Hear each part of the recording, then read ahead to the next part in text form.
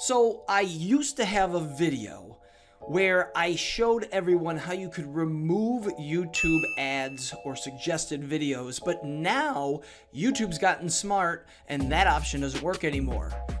But I'm a little smarter because I've got a brand new way that you can block those advertisements or suggested videos. When you click on a video and it comes up, you'll see that commercials will automatically begin. And we want those commercials to go away. We don't want them distracting our students. So the trick to this one is going to be once again up in our address bar.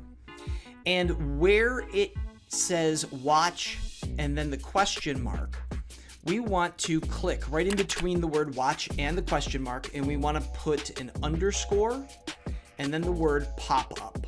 It's all one word, that's it. And I'm going to hit enter. And now what you will see as this window comes up, I'm able to play it and pause it. And there are no suggestions, there are no advertisements. We are back in business. If you have any questions, make sure to reach out to me through email or in the comments. And hopefully, you like this video.